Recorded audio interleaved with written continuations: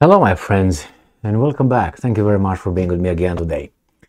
Has something like this ever ever happened to you? Like, for instance, uh, you have your favorite team, or maybe you train someone, you're a coach, and you see your team, or you see, you know, people in your team, and you see the, you know, the opposition, the people that you're gonna fight against, gonna play against, and you look at them and say, these guys are better than us. These guys are having a more disciplined uh, training method. They work harder. They have a better method versus us. And I'm on this team. So, did you ever, uh, have you ever had this kind of feeling that why are we not training better? Why are we not planning better? These guys are not geniuses, are just, you know, thinking more, or I don't know, something else they have that we don't. At least we can copy. Uh, it happened to me a few times in, uh, in my life, and it happens to me right now with this Ukraine, uh, NATO, Western countries versus the rest, which is Russia and the rest. It seems like this is my point. It seems like the rest of the world rallies behind the other team and not our team. And I'm looking like the uh, looking at the guys in charge of our team, and it seems like they make mistake according to us. Why I call it mistake? I call it a mistake because it will hurt me. Now, I don't know if it hurts them. I don't know if it hurts the real guys, but it hurts me. So my team makes mistakes, and it seems like it's going to lose. And it doesn't have to be that way. You don't have to really, you know, uh, be in a competition with the other side. You can cooperate. But it seems like those guys over there, in charge of us, they make decisions that we are going to be negatively affected by. The consequences will be bad. And I don't like that. I don't like that. And I don't like when I look at my enemy and say, hmm, that's a good, look at this guy, that's a good thing they're doing over there. That was smart. But everything they do is against us, it harms us. And I'm looking at our team, like for instance, Biden, Kamala Harris, Kirby, which is just a spokesperson, but anyway, Blinken, um, what's his name? All these guys in the government that I know by their, you know, the fact that they are public figures. And I'm looking at these guys, I'm looking at the other guys, I'm thinking, I can look at Scholz, which is not one of mine, but still. I can look at Anna, Annabella, whatever his name, name is, the foreign minister of Germany, an infantile foreign minister. Unfortunately, she's not ready.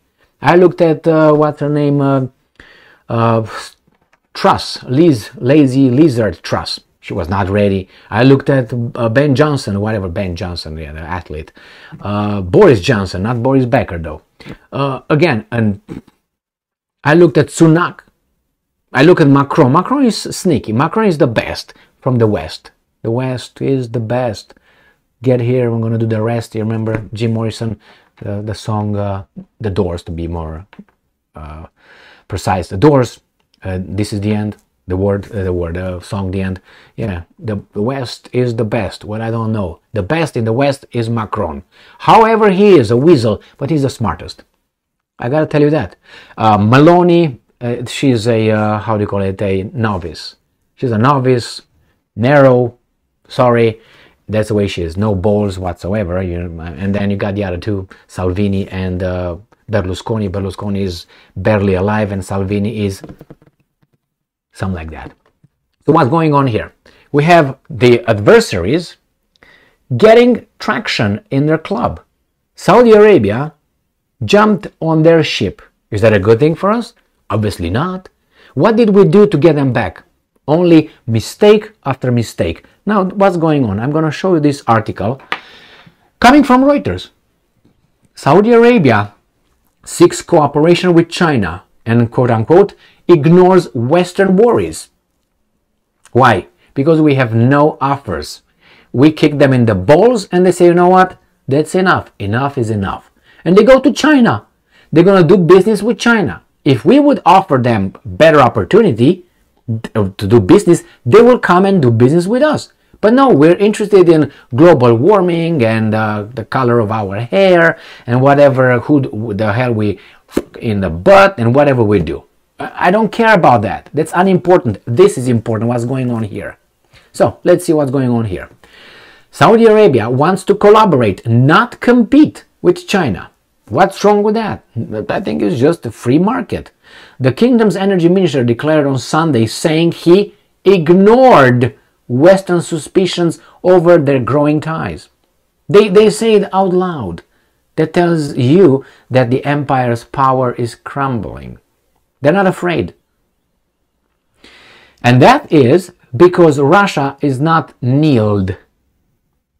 That's why these guys are courageous now, because Russia is not destroyed yet. If Russia would collapse tomorrow, I guarantee you Saudi Arabia will not make those claims.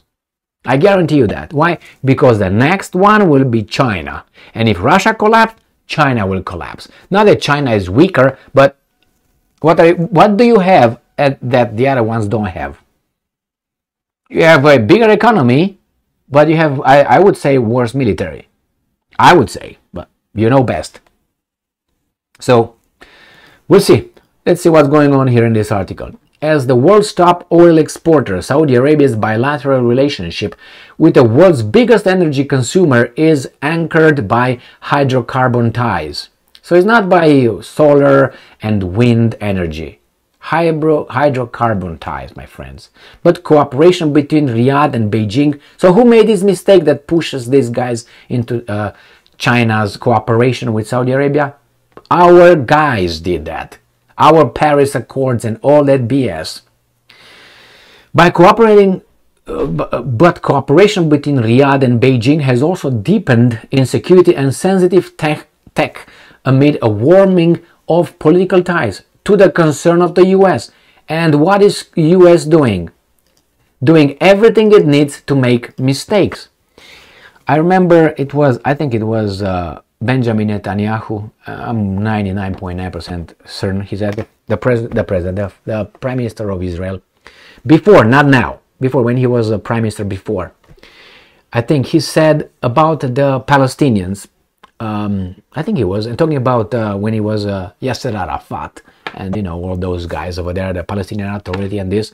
He said, but it was after, or it was uh, Ariel Sharon. Maybe it was Ariel Sharon. Doesn't matter. A Jewish or Israeli uh, prime minister. He said, the Palestinians never missed an opportunity to miss an opportunity. So that means they never missed an opportunity to fuck up. So basically, this is what's going on right now, in my view, with the United States of America they don't miss an opportunity to do even more than they already did. They sent Blinken over there a few days ago. They spoke with uh, uh, Mohammed bin Salman. Nothing changed. Mohammed bin Salman told Blinken, hey, Blinky, start blinking. Okay, listen to me. We want nuclear energy for peaceful purposes. We're going to build some uh, nuclear power plants here. That's a that, that's what's gonna happen. Now we talk to you, talk to you first, so you know you don't get too uh, upset and start crying like a female dog in your safe space. All right, retreat over there. okay, we tell you first. Hey, you help us build uh, nuclear energy, you know, and peaceful nuclear weapon. No, we can't. nuclear uh, reactors. yeah, I think that's next. And Americans they said, okay, and then uh, uh, Mohammed bin Salman told the Blinky guy, but you're not the only option. We have other g- offers. So if you think you're tough, we just discard you like like this, and we go and get the other ones, which are maybe the Canadians. Do you think so? Or maybe the Russians? And they will build for us. And then you, what are you going to say? Hey, you can't do that, Erdogan. You can't buy S 400s from Russia. Well, you didn't want to give us the Patriots. so what do you want me to do? Uh, wait until we tell you. Uh, you know what? Off. So basically, this is what's going on. So Blinky sucked another uh, bonbon, if you know what I mean. So this is what's going on. The United States seems to make I don't want to call them diplomatic mistakes because these guys are not engaged in the diplomacy. They are engaged in threats, blackmail, regime change, and freedom and democracy bringing with bombs.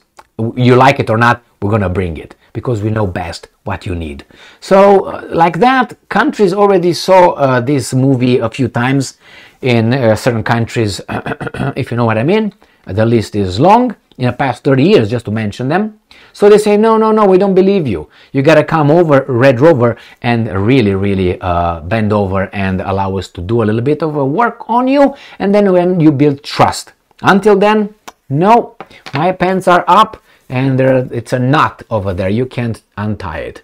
So here it's uh, what's going on here. And as I said, these guys are on my team, supposedly, but I don't think they're on my team. I think they're on a team that is outside of our interest. But they try to keep us together, united. But we are dumb. We are dumb and we are dumbed down. And the mass media does a very good job in redirecting our focus among us, hating one another, groups and people, and they do the hanky panky over there. They count the money and they have the power. And we deal, he's this, oh, he's this, oh, I don't like you this, I don't like you that. Very easy, very easy. But what do you expect? When this society here thinks it's an educated society and votes for, let's say, President Obama, former, twice, and Trump and uh, Biden, oh my God, and Kamala Harris, uh, how can you call this country or this, not country, this electorate, part of it, part of it, educated? Remember, one third of the United States of America uh, adult population has a college degree. College degree used to be something that maybe, I don't know, 6% of the population were able to achieve. Now, we all can do it. I don't believe it. Because you drop the you drop the standards and you got these people. And they say, hey, I have a college degree. I'm educated. I know what I'm talking about. Yeah, let's talk about it. It's more important to find out how a person processes information than the information he's got. You, because you can have all the information available. If you don't put it logically and you know chronologically in your brain, you analyze it in the wrong way, you're going to reach the wrong conclusion. That's a reality. So open your mouth so I know who you are.